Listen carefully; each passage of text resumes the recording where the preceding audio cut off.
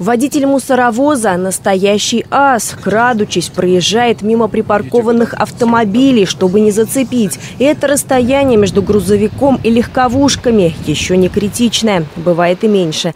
А иногда и вовсе проехать невозможно. Мусор так и остается невывезенным.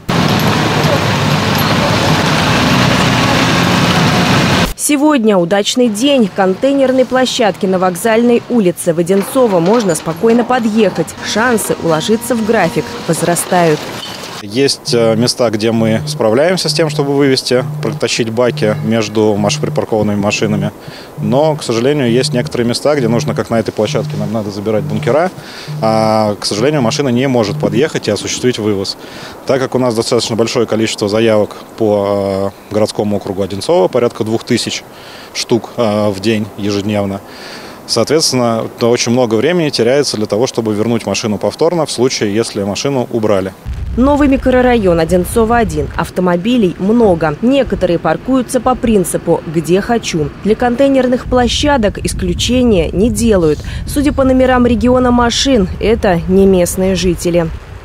Когда приезжает машина русского регионального оператора, они звонят, смотрят номер автомобиля, э, вычисляют номер э, собственника, звонят и с просьбой убрать машину. Если данная ситуация складывается не так, как хотелось бы, что отсутствует номер телефона в базе, тогда вызывают эвакуатор, данную машину эвакуируют.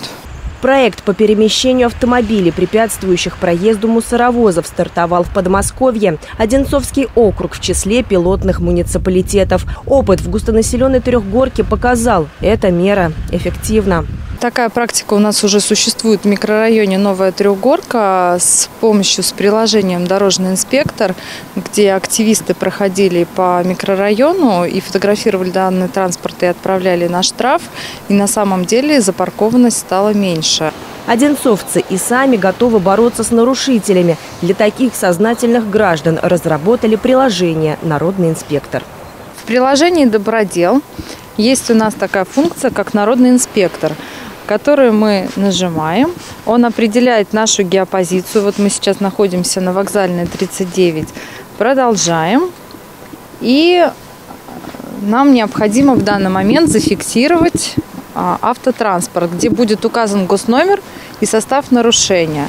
Несознательным автомобилистам предстоит не только отыскать свою машину, но и оплатить штраф. Сумма не маленькая, от 3 до 5 тысяч рублей. Должностным и юридическим лицам придется раскошелиться еще больше. За создание препятствий мусоровозам они заплатят от 5 до 30 тысяч рублей. Евгения Августина, Денис Харламов, Артем Ломоносов, телекомпания «Одинцова».